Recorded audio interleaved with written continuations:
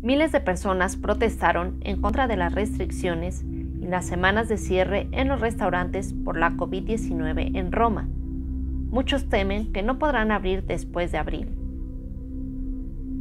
La policía antimotines confinó a los manifestantes en la plaza central tras bloquearlos para que no llegaran al Chigapalas, donde se encuentra la oficina del primer ministro y donde se hacen manifestaciones autorizadas.